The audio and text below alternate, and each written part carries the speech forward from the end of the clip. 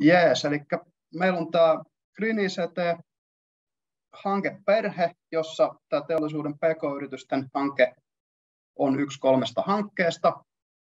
Ja tota, me lähdettiin tekemään tätä sen pohjalta, kun teknologia teollisuus on tehnyt tämän hiilineutraalisuustyökartan, tiekartan, ja he on löytänyt kuusi aluetta, mihin ICT voi vaikuttaa kädenjälkivaikutuksella teollisuudessa päästöihin, niin kerron vähän, että miten tämä koko homma meni. Eli mikä tämä hanke on ja miksi sitä toteutetaan. Mitä on Green ICT? No se on kestävän kehityksen mukaista ICT. Tämä ei välttämättä paljon kerro, mutta nyt kun olette kuitenkin, tämä on paljon tuttuja, tuttuja nimiä paikalla ja nyt kun olette kuullut tässä kaksi kestävän kehityksen esitystä, niin varmasti joku kuva siitä jo on. Eli se on kehitystä, joka ei vaaranna tulevien sukupolvien mahdollisuuksia, antaa kuitenkin meille mahdollisuuden tehdä sen, mitä me halutaan ja saada meidän omat tavoitteet saavutettua. Ja tämä hanke auttaa taas näitä keskisuuden teollisuuden PK-yrityksiä vähentää kasvihuonekaasupäästöjä juuri näiden ICT-työkalujen avulla. Ja mitä on nämä päästövähennykset ja miten niitä tehdään? Eli hankkeen webinaarissa paraksi perustuu siihen vähähiilisyystiekarttaan. Mä kerron niistä kuudesta alueesta tässä esityksen aikana vielä. Ja miksi tämä toteutetaan? Koska Suomen ja EUn ilmastotavoitteet vaatii tätä teollisuusliiketoiminnalta. Se vähäpäästöisyys on tulossa ja lopulta se hiilineutraalisuus on tulossa. Se on meidän ilmastotoimien kannalta pakollista ihan jo sillä, että me pidetään tämä meidän pallo elinkelpoisena meidän tuleville sukupolville. Ja tähän teollisuuden alueen liitot on Suomessa tosi hyvin vastannut. Mm, kemian teollisuudella on ainakin oma ohjelma tämän teknologiateollisuuden lisäksi. Ja mun mielestä elintarviketeollisuudella on kanssa. Ja teknologiateollisuus on laskenut, että vuoteen 2035, mikä on Suomen kansallinen tavoite hiilineutraalisuudelle, niin se on mahdollista saavuttaa teknologiateollisuuden puolella. Kemian teollisuus on taas laskenut esimerkiksi, se olisi 2045 heillä. Ja tietysti päästökompensaatiot sitten sitten tulee siihen mukaan. Ja miksi tähän kannattaa lähteä mukaan, jos olette keskisuomalaisia yrityksiä? Koska asiakkaat, rahoittajat, tilaajat, yhteistyökumppanit vaatii yhä useammin näiden ilmastoystävällisyyden tekojen olevan kunnossa, niin kuin näistä edellisistä hyvistä esityksistä Elisalta ja Enniltä kuultiin, että siellä on selvitetty aika tarkastikin näitä juttuja, ja jos se arvoketju jossain kohti prakaa, niin, niin tota, se on hyvin semmoinen selkeä, että sit saattaa käydä niin, että jos olet alihankkijana, niin sut korvataan uudella yrityksellä, jos et pysty tähän osoittamaan, että, että siinä arvoketjussa pystyt hoitaa sen oman tonttis. Ja asiakkaat tietysti ähm, usein, tätä Nielsenin parin vuoden takaisin tutkimusta on tässä viitannut siihen, että 78 prosenttia nuorista kuluttajista jo maksaa enemmän vihreistä tuotteista, 54 prosenttia kaikista kuluttajista. Eikö sori, se on 73 prosenttia nuorista kuluttajista. Kyllä. Ja mitä ja miten sitten tehdään, tämä on se tietysti asian ydin. Eli tässä on nämä kuusi teemaa. Ensinnäkin ICT-hankinnoissa vähähiilisyyden huomioon ottaminen, siihen liittyy äm, kaikenlaiset palvelut tietysti, mutta myös se, että onko laitteet hiilineutraaleja. Esimerkiksi älypuhelimissa Euroopan unionin tämän Green Public Procurementin taustapaperi, tämä tekninen taustapaperi arvioi, että keskimääräisen älypuhelimen päästöistä itse asiassa 81 prosenttia tulee käyttövaiheen ulkopuolella. Tietysti osin siitä syystä, että nykyisinä laitteet on huomattavasti energiatehokkaampia, mutta myös osin siitä syystä, että nämä hieno elektroniikka, etenkin näiden pienten laitteiden tekeminen on hirvittävän intensiivistä, energiaintensiivistä, se on vesiintensiivistä touhuu, niin se, että otetaan huomioon tämä vähähiilisyys ja päästöttömyys siinä, kun hankitaan näitä laitteita, niin se on tärkeää. Toinen on sitten ohjelmistoissa tähän, itse asiassa meidän muut hankkeet, Mitvidi ja sitten tämä ekosysteemihanke Uudellamaalla vastaa, vastaa ja tuo työkaluja, että miten, miten pystyy sen ottaa huomioon. Sitten on tämä paperiton toimisto, logistiikka, taloushallinto ja muut toiminnot. Tämänkin parissa Tieke tekee töitä. töitä. Meillä oli Losada-hanke esimerkiksi, jonka loppuraportti julkaistiin käsittääkseni tässä kesän lopulla. Eli, eli tota, ollaan näiden parissa oltu Tiekepöydättää verkkolaskufoorumi, joka, joka on tietysti paperitonta laskutusta, ja nämä kuitenkin kun katsotaan, vaikka ne tietysti vaatii kaistaa ne vaatii laskentaa, niin vaatii kuitenkin huomattavasti vähemmän kuin mitä vaatii, vaatii sitten paperinen tulostaminen ja postin lähettäminen. Muistaakseni yhden arvion mukaan niin Britanniassa arvioitiin, että kirje vaatii noin 40 kertaa enemmän päästöjä kuin mitä sähköisesti saman asian hoitaminen näissä laskutuksissa. Sitten on tuo vihreä robotiikka. En ole robotiikan asiantuntija, mutta oletan, että tämä tarkoittaa nimenomaan vähäpäästöisiä robotteja siitä, kunhan tämä koulutus tulee ja päästään tietosalkkuun kirjoittamaan tämän kouluttavan asiantuntijan kanssa, niin, niin tulee lisää tietoa. Sitten on vihreät pilvipalvelut. Teollisuudessa on tosi tärkeää, kun ajetaan prosesseja, että se pilvipalvelu, jossa se ajetaan, on lähellä. Eli siellä ei voida lähteä hankkimaan jostain Irlannista tai, tai Saksasta sitä pilvipalvelua. Se on oltava ihan muutaman millisekunnin päässä käytännössä siitä prosessista, mitä se pyörittää. Usein ne on in-house-pilviä. Ja näiden, näiden vihertäminen on tosi tärkeää. Myös sit paikalliset pilvipalvelutoimijat voi tarjota näitä palveluita. Mutta mut tämä on, tää on sellainen niinku teollisuusspesifi, etenkin prosessiteollisuusspesifi homma. Sitten on vielä älykkäät automaattio-ohjausjärjestelmät tietysti, eli kun optimoidaan sitä tuotantoprosessia ja niitä järjestelmiä, mitä siinä käytetään, pystytään tekemään päästövähennyksiä, pystytään tehostamaan tuotantoa, se on tavallaan win-win tilanne, eli, eli sekä tuotanto paranee että, että luontoa ja päästöjä säästyy. Sitten on datan tekoäly ja IoT-hyödyntäminen, eli tällä big datalla myös, myös siis kiertotalous hyötyy tästä tosi paljon, koska monet teollisuuden sivuvirrat on sellaisia, että, että jos niistä on sitä dataa, niin joku toi, jonkun toisen päästö on itse asiassa jonkun toisen raaka-aine. Eli tämä on tärkeä puoli. Ja sitten IoTlla esimerkiksi, kun puhutaan elintarviketeollisuudesta, se on pitkät kylmäketjut, niin näiden kylmäketjujen hukkalämmön ottaminen talteen. Puhutaan paljon hukkalämmön ottamista talteen pilvipalveluissa ja, ja konesaleissa, mutta itse asiassa tässä IoTn puolella siinä on ihan vastaava kaltainen valtava potentiaali. Ja etenkin nyt, kun ollaan tässä ajassa, kun energia on kallista, niin, niin se myös, että, että miten nopeasti maksaa itsensä takaisin, eli se return investment on pienentynyt huomattavasti.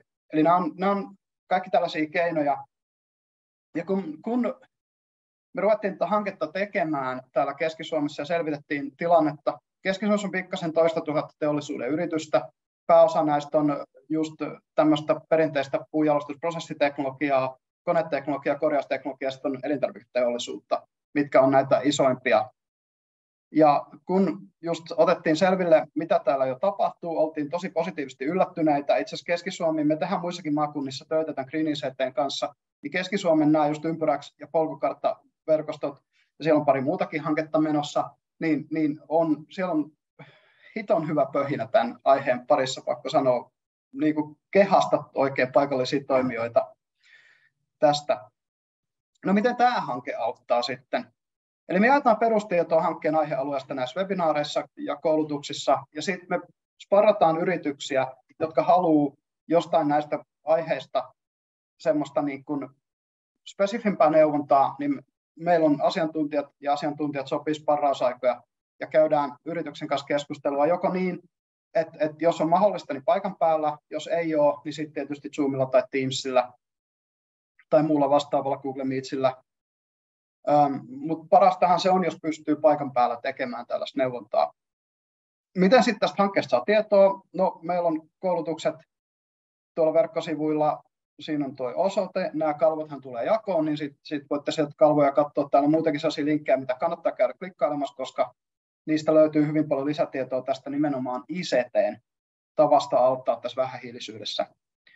Ja kannattaa tilata tämä uutiskirje, koska siitä pysyy kärryillä siitä, miten tämä hanke menee. Ja myös sitten, kun näitä jatkohankkeita suunnitellaan, niin siitä, että minkälaisia jatkohankkeita on tulossa Keski-Suomeen aiheen ympärille. Miten pääsee sparrattavaksi? Sovitaan aiheen webinaareissa yleensä, mutta niitä voi kysyä, koska niitä vielä on tarjolla, niin muulta sähköpostilla. Tuossa sähköpostiosoitteessa tulee tuossa lopussa vielä toisen kerran. No missä ja milloin tätä hommaa tehdään, eli missä nämä koulutukset järjestetään, toteutettu tähän mennessä Teams tai Zoom-alustalla, mutta tilanteen salliessa nyt kun asiat on parantunut, niin halutaan tehdä hybridia lähitapaamisina näitä mieluummin, koska se vaikuttavuus on isompi kyllä on huomannut nyt, kun nämä lähitapaamiset on alkanut, että kyllä niissä, niissä se välittömämpi välittömämpi vaikutus on kuin, kuin tämmöisissä webinaareissa. Tästä webinaarit on tietysti hyviä tällaiseen kansalliseen toimintaan, niin kuin Aamuareena on, mutta sitten kun mennään siihen, että tehdään, tehdään paikallisia, esimerkiksi just maakunnallisia tai kunnallisia juttuja, niin siinä ehdottomasti minusta on hyvä, että saadaan, saadaan oltua nimenomaan saman katon alla. Ja miten tästä asiasta sitten lisätietoa, niin hankkeen koulutukset julkaistaan tosiaan tallenteina. Niihin on linkit tuossa vähän myöhemmin, myöhemmässä kalvossa. Ne tulee tuonne hankesivulle, sinne tulee kaikki meidän materiaalit ja sitten YouTube-kanava. Tätä tietosalkkua on alettu keräämään. Se julkaistaan tuossa ensi vuoden puolella, kunhan kaikki nämä webinaarit, koulutukset, sparraukset saatu tehtyä. Ja siellä tulee olemaan hankkeen opasta, siellä tulee olemaan haastatteluja, ja sitten siellä on esimerkkikeissejä firmoista, jotka on, on osallistunut sparraukseen, ja millä tavalla se on parantanut tätä heidän tilannetta. Eli antaa sellaista inspiraatioa ja esimerkkiä siitä, koska monella pk-yrityksessä kuitenkin on samankaltaisia tilanteita näissä kysymyksissä, niin kun näkee, että miten toinen firma on tehnyt tämän asian, niin se totta kai ei saa sit omassa tekemisessä. Ja milloin tämä hanke toteutetaan? Pääosin tämän vuoden aikana aloitettiin tammikuun alussa. Ensimmäinen webinaari, no nyt pitäisi lukea, että oli 6.5. Ja toinen oli tuossa 3.6. Eli nyt nämä kaksi ensimmäistä koulutusta oli hankinnoista ja sitten oli tästä paperittomasta tukitoimintopaketista, missä on just verkkolaskutusta ja muuta. Ne löytyy sieltä jo, jo ne tallenteet meidän YouTube-sivulta. Siellä on ihan playlisti erikseen tälle hankkeelle. Loput webinaarit on syksyllä talvella ja hanke päättyy 15.4. Ja siihen mennessä tuossa huhtikuun alussa se tietosalkkukin julkaistaan. Ja sitten miten voi saada sparrausta sopimuksen mukaan, eli kyselkää. Jos, jos olette keskustelua yrit, pk-yrittäjä, niin, niin mulle voi laittaa sähköpostiin nykästä hihasta virtuaalisesti, niin sovitaan tämä sparrausaika jostain näistä kuudesta aiheesta. Keitä on mukana tässä toteuttamassa? Tiekäry on toteuttamassa tämän hankkeen ely EAKR-rahoituksella. Kouluttajat tulee eri organisaatioista, joissa on osaamista eri aihealueista, no, koska Tiekeloverkkolaskufoorumi ja, ja logistiikan parissa esimerkiksi tehdään töitä, ja sitten toisaalta me tehdään kahta hanketta, jossa ICT-hankintoja viherretään, niin nämä kaksi ekaa koulutusta on pidetty meidän asiantuntijoiden koulutuksina. Loput neljä osa-aluetta on sellaisia, missä ei ole niin paljon asiantuntemusta, niin ne hankitaan sitten ulkopuolisina kouluttajina. Ja nimenomaan pyritään siihen, että me saataisiin keskisuomalaisia kouluttajia hommiin. Eli, eli halutaan paikallisia kouluttajia myös tuoda sitten, että saadaan myös näitä lähitapaamisia, hybriditapaamisia pidettyä.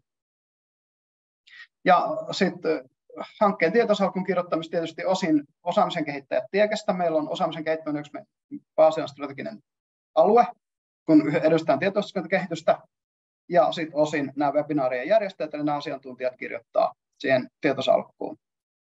Ähm, hankkeen ohjelmassa on ely ja Tieke ry, eli tietysti rahoittaja ja, ja me itse. Sitten on tuo ympyräysverkosto, josta äsken puhuttiinkin, polkuhanke, ja sitten Keski-Suomen kauppakamarin digitalisaation ja uuden liiketoiminnan työryhmä, yritystehdas Oy, ja sitten LUT-yliopisto tuomassa vielä niin kuin ulkoista asiantuntijanäkemystä, koska he on todennäköisesti tällä hetkellä Suomen ykkösyliopisto vihreässä ICT.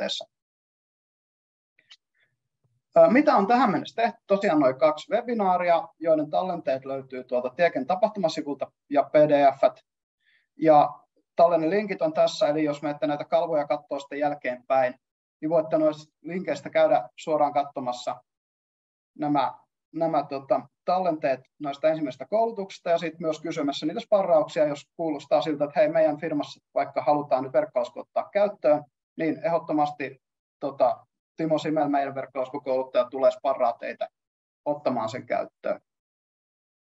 Ja sitten pidettiin tapahtumia Jyväskylässä kaksi kappaletta. Toinen oli tämmöinen yhteistyössä kauppakamarin kanssa. Sen tallenteet löytyy sieltä listalta Keski-Suomen Green ICTn soittolistalta. Sitten olin puhumassa Ympyräksi aamukahvilla. Kiitos siitä Ympyräksi-verkostolle, että kutsuitte minut. Ja siinä puhuttiin noista ympäristövastuusasioista ICT, ja se löytyy sieltä taas JAMKin tapahtumasivulta, koska JAMKhan on yksi näistä Ympyräksin toteuttajista. Mitä tulee sitten tapahtumaan seuraavaksi? Mä toivon, että vastaatte tähän kyselyyn, jos olette keskisuomalaisia PK-yrityksiä, mistä tahansa teollisuusalalta. koska me halutaan kartoittaa tämä, että mitkä teidän oikeat tarpeet on, ei pelkästään tämän hankkeen, vaan myös jatkohankkeiden kannalta.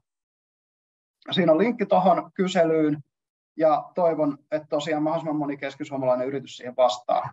Toivon näitä haastatteltavia yrityksiä, eli jos te, te olette tehnyt jotain, ei tarvitse olla edes tämän hankkeen puitteissa välttämättä, vaan myös, myös esimerkiksi polkuhankkeen tai, tai ympyräkshankkeen puitteissa tai omana työnä, niin, niin mitä te olette tehnyt ja miten, voitte esityä siinä omalla yrityksen nimellä tai anonyymisti. Ja nämä julkaistaan, meillä on tulossa tämmöinen Green portaali niin siellä. Sitten kannattaa katsoa ne webinar-tallenteet, niin kuin mainitsin, ja kannattaa tulla paikalle kuuntelemaan näitä hybriditapahtumia, mitä me järjestetään. Ja Sparraksi osallistuminen tosiaan jaetaan nopeammin ensin periaatteella, niitä voi minulta sitten kysellä. Kiitos hei kaikille, tervetuloa mukaan katteleen tätä hanketta. Tätä on kuitenkin vielä kaksi kolmasosaa jäljellä. Ja tuossa näkyy yhteystiedot sosiaalisessa mediassa, että TGRYllä voitte meitä seurata ja sitten tietysti AJ menos.